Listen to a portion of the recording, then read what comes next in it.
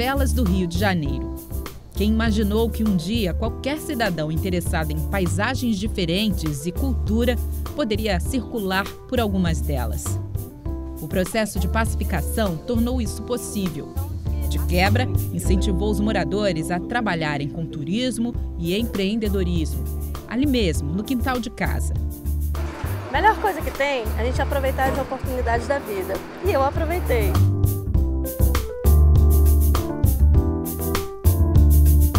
Meu nome é Salete Martins, sou guia de turismo, também técnica em turismo, moro aqui na favela Santa Marta. Hoje eu trabalho com turismo aqui na favela, né, junto com a minha família e com mais a minha sócia Verônica Moura. Nós fazemos o um passeio aqui com os turistas, tá? Vem turistas de vários países do mundo e também do Brasil. Né? Nós oferecemos pacotes personalizados, como tour com almoço na laje, tour com uma pitada de pipa e futebol, tour com trilha. A gente é sempre inovando aqui o nosso tour. Pode ter uma bolinha aí? Vale para meninas também. aqui é mais tranquilo do que eu, eu, pensei, eu achei que foi no, na televisão, nos filmes e tudo.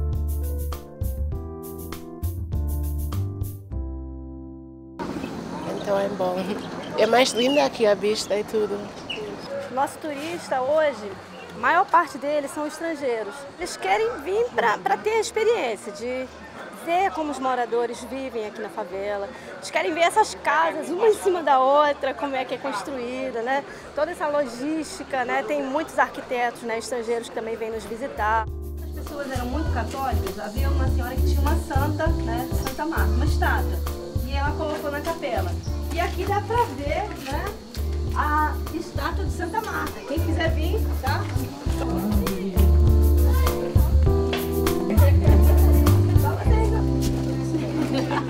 A gente faz esse turismo de base comunitária, né?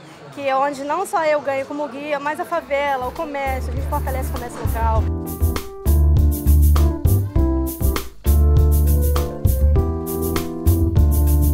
Gera muita oportunidade e também mexe muito com a economia local.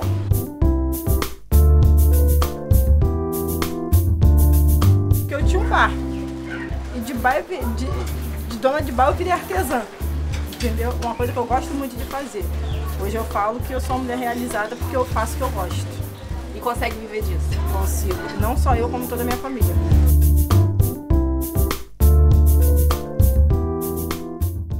Na temporada da Copa do Mundo, os guias da Santa Marta calculam ter recebido 10 mil visitantes.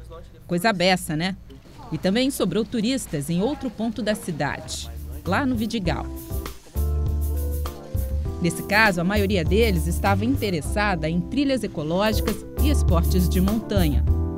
Satisfação garantida no final de cada aventura turismo de aventura e o ecoturismo ele cresce entre 15 e 25% todo ano.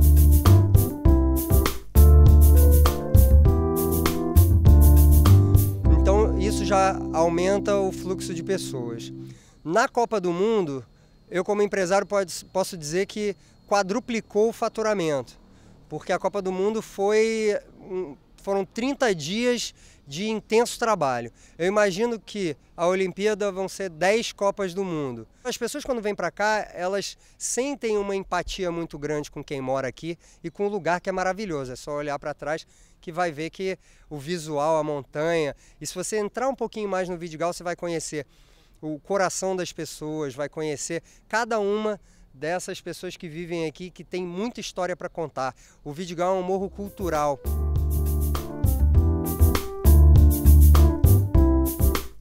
Para mim, trabalhar como condutor dentro da minha comunidade é muito gratificante, porque eu posso trocar experiências de diversas culturas.